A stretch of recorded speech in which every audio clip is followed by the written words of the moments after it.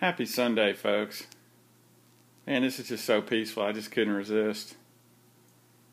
I think I'm going to feed them, so they're kind of up to the front. But uh, it's funny because four of them will hang out up front, and then there's one that just always kind of lurks in the back. But I was just really taken uh, taken back by the black skirt tetras, that one with the finnage. Uh, it's kind of over the driftwood now where the Anubias is. Really pretty. You can see the uh,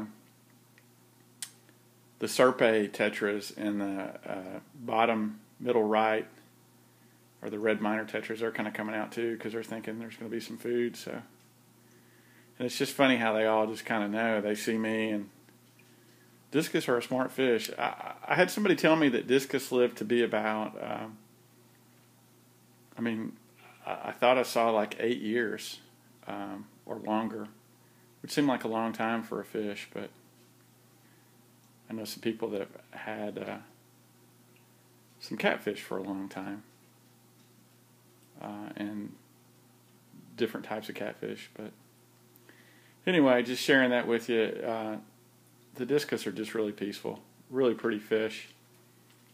I think these two big ones over here on the right are I don't know. They may uh, start a family. We'll see. Yeah, these guys want me to feed them,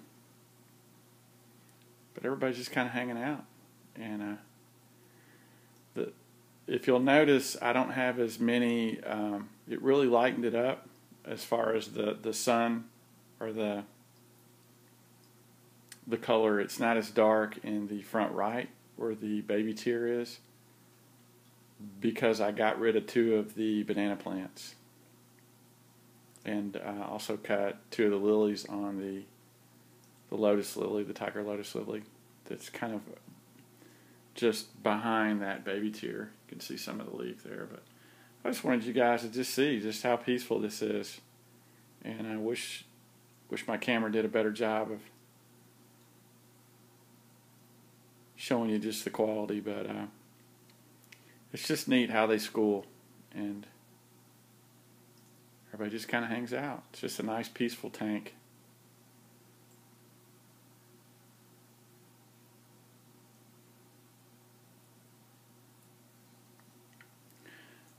Well, anyway, I, I got to make some videos for you guys this week, so I'm going to try to get on that today.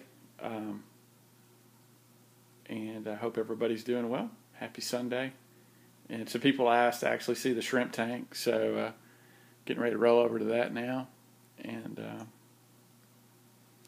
these guys are uh, the Beckford pencil fish are doing pretty good, and there's actually one of the babies is actually starting to school with the uh, the bigger ones, which is kind of cool to see. And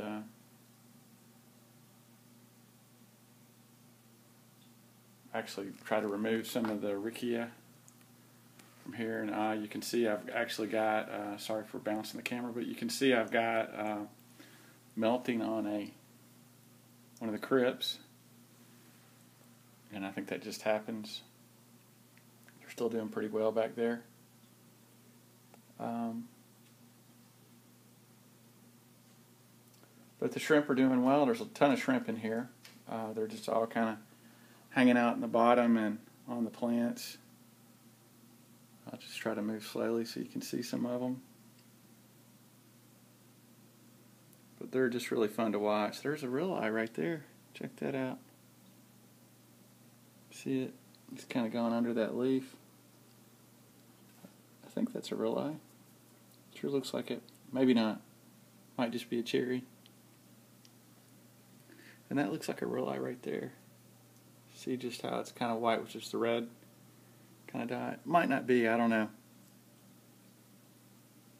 But uh, a lot of shrimp in here. You can see two of the baby uh, Beckford pencilfish kind of uh, down under that crypt. Well, I don't know if you can really see it on the camera. The camera's kind of brighten it up.